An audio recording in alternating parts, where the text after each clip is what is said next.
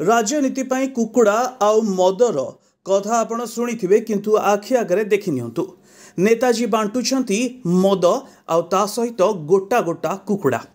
ଦୁଇଶହ ଜଣ କର୍ମୀଙ୍କୁ ବଣ୍ଟାଯାଇଛି ମଙ୍ଗଳବାର ଦିନ କୁକୁଡ଼ା ଆଉ ମଦ ବୋତଲ ଏସବୁକୁ ସଜେଇ କିଭଳି ରଖାଯାଇଛି ତା ବି ଦେଖି ନିଅନ୍ତୁ।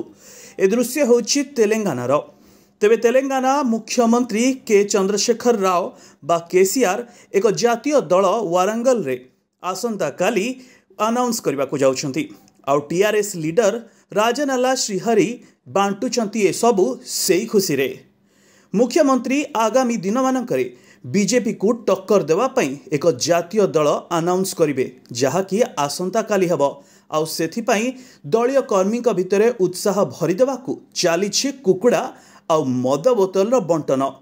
କହିବାକୁ ଚାହିଁବୁ ଯେ କୁ- କଥା ଶୁଣିବାକୁ ମିଳୁଛି କୁକୁଡ଼ା ଗୋଟାକ ଦୁଇ କେଜି ଓଜନର ଆଉ ତା ସହିତ ଗୋଟେ କ୍ୱାର୍ଟର ମଦ ବୋତଲ ବି ଦିଆଯାଉଛି।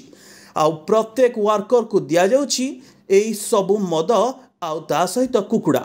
ଇଏ ହେଉଛି ଦଶହରାର ଭେଟି। ତେବେ ଭାଇରାଲ ଭିଡ଼ିଓ ଯାହା ଏବେ ସାମ୍ନାକୁ ଆସୁଛି ଆଉ ଶ୍ରୀହରିଙ୍କୁ ଆପଣ ଦେଖିପାରୁଥିବେ କିଭଳି ମଦ ବୋତଲ ଆଉ କୁକୁଡ଼ା ସବୁ ଗୋଟା ଗୋଟା କରି ବଢ଼େଇ ଦେଉଛନ୍ତି।